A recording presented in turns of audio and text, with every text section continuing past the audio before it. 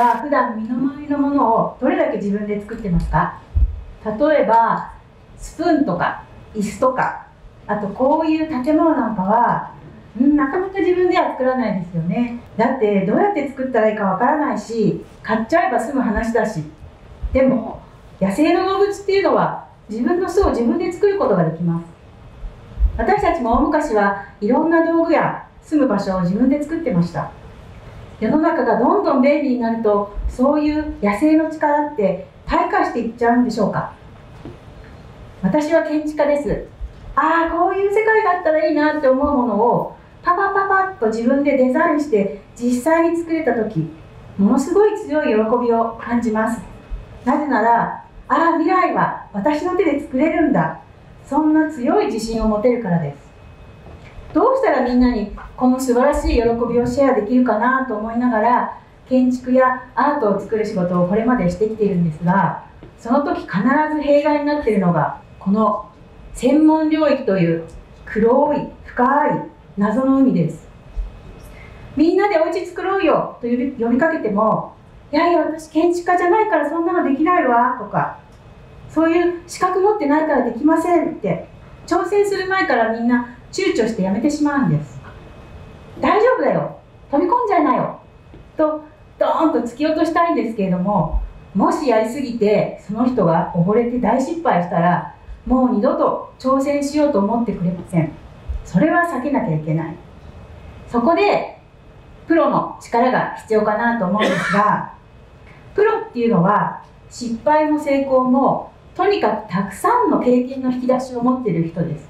だから初めて泳ぐ人にもこうやったらいいよこうやってこいだらうまくいくよといろんなアドバイスをしてあげることができるし万が一その人が溺れそうになったらジャボンと突っ込んで助け出してあげることができます。もしそんな風に大丈夫ここなら安全だよと頼もしく誰かが見守っていてくれれば誰でも自由にそこで泳いでどんどん泳ぎが上達するかもしれない。想像力を育む場というのもまさにこれと同じなんですね。実際の例をご紹介したいと思います。私はこれまでアフリカのザンビアという国でお産の施設を地域の人が自分たちで作ることを応援する仕事をしてきました。日本の40倍の妊婦さんがお産で亡くなってしまうという深刻な状況がある中でこういう中古のコンテナをリメイクしてお産の施設を村々にみんなで作っていくんですがいちいち私が飛んでいくとお金も時間もたくさんかかってもったいない。だからどうしたらこの普通プロがやるプロセスに住民の人にジャボーンと入ってもらって一緒に泳いでもらえるか。それをやってきました。大体私は専門家というのはこういう図面を描いて設計を始めるのですがいきなりこの図面を描くことに素人の人にチャレンジしてもらうのはなかなかリスクがあることです。そこで私が考えたのがこの制約の中にで自由に遊んでもらうことです。これは大丈夫。この範囲の中ならどんなに自由にやってもいいよという安全地帯を用意してあげることです。例えばその一つがこれ。これはチョキチョキ模型キットと私が呼んでいるものでこの紙を切って組み立ててペタペタ貼っていけば誰でも気が付くとマタニティハウスの設計ができてできちゃってる。そういうものです。途中専門的な知識をいろいろ使わなきゃいけないんですがそれは、えー、楽しい歌と踊りでみんなで知識をシェアし合って覚えていきました。そうやって遊び心満載でワークショップをやってきたら初めて参加した地元の人たちでもたった数時間でマタニティハウスの設計を終わらせることができました。もう一つの遊びはペタペタ葉っぱスタンプです。これは寄ってきた葉っぱにペンキを塗ってペタペタとコンテナの表面にデコレーションしていく作業です。これもどんなに絵が苦手な人でも誰でもきれいに仕上げることができる。そういうやり方です。とっても楽しいのでみんなが参加してくれてこんな素敵なマタニティハウスが完成しました。実際にとっても大人気になったこの施設に今までのよりもずっと多くの人が泊まりに来て安全なお産を体験してくれることになりました。このように楽しく参加してもらう仕掛けはうまくできたんですがもっともっと彼らが持っている独創的な才能を発揮してもらいたいなと思って制約を少し外すことを試みてみました。彼らに2軒目のマタニティハウスのデザインを考えてもらったんです。すると出てきたのがこういう複雑な絵でした。どうしようこんな難しい絵をどうやって大きい壁に描いたらいいんだろうできるかな？ちょっと高い山を想定しちゃったかなって私も心配になったんですがなんとかプロの意地でですねみんながその目標の山に登れるための見えないはしごになってみんなを支えて登ら登っていくことをしまし登っていってもらうことをやってみました。例えば下書きを書く作業というのはちょっと難しいので我々プロがだいぶサポートしたのですがそれ以外の作業はみんなにどんどん挑戦してもらいます。ペンキで絵を描いてもらう作業は筆の使い方を慣れてもらわないと失敗してぐちゃぐちゃになっちゃうので最初は1本の筆と 1, 1色のペンキだけを渡してとにかく線をひたすら描く楽しさに夢中になってもらいました。だんだんそうやって筆使いに慣れてくると今度はみんな色をつけたりして遊び始めます。例えばこの人は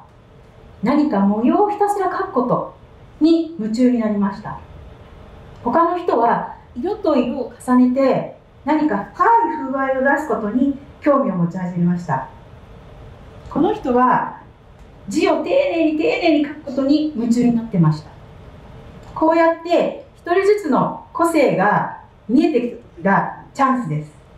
とにかく褒めて褒めて伸ばして褒めて持ち上げます。いやあなたのその色使いこんな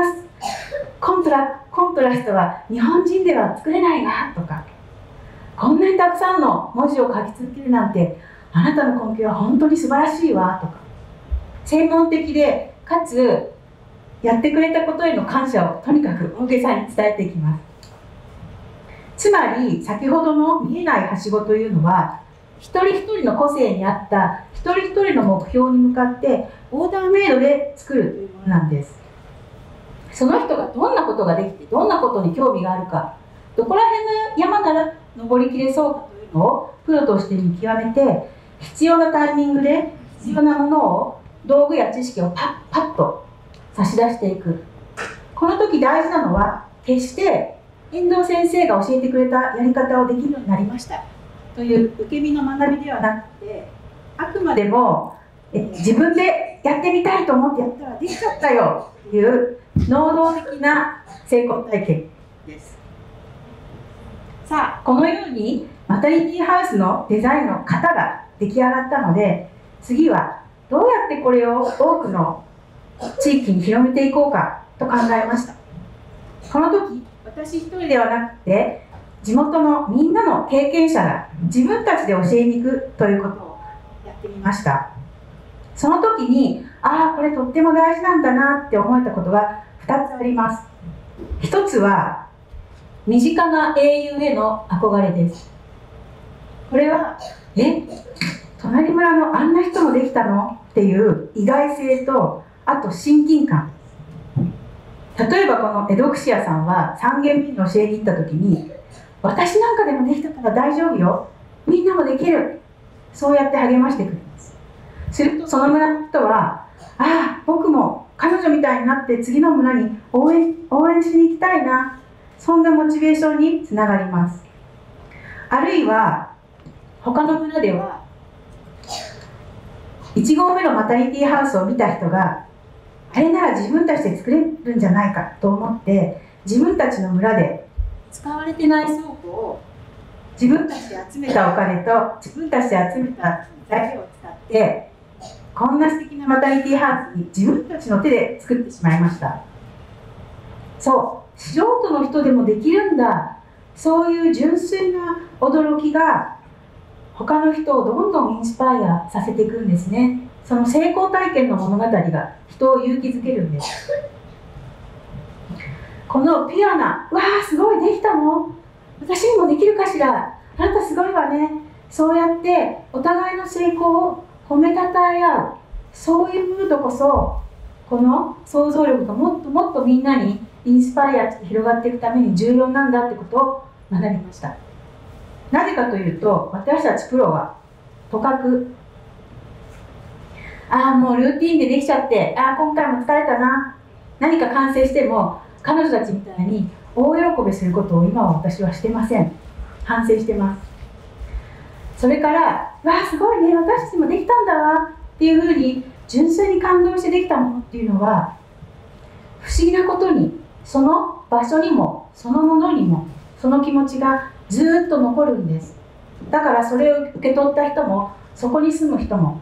なんか私もできるかな。私も作ってみよう。そういうふうに勇気づけられていく。素晴らしい力を持ってるんですね。このみんなの祝福の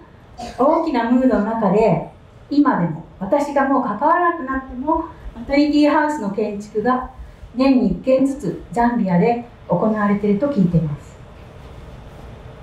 そう皆さんももうご存知だと思いますが身の回りに必要なものを作るのは決して専門家にしかできないものではありません。どんな人でもいつでもどこでも何歳になっても始められること。私はみんながその海にバーンと飛び込むための背中を押す手になりたいしそして落ちてきた人大丈夫だよと受け止める安心の子宮でもありたいしたまにその人があっちに登りたいっていうのを陰で支えるはしごにもなりたいしあるいはたまにはわあすごいなって憧れる存在にもなりたい。そしていつもみんなをキラキラと応援するそんな力でいたい。そう思います。なぜかっていうとその一つ一つであることが私にとってはこの上ない喜びなんです。ああ自分今すごく生きてる気がする。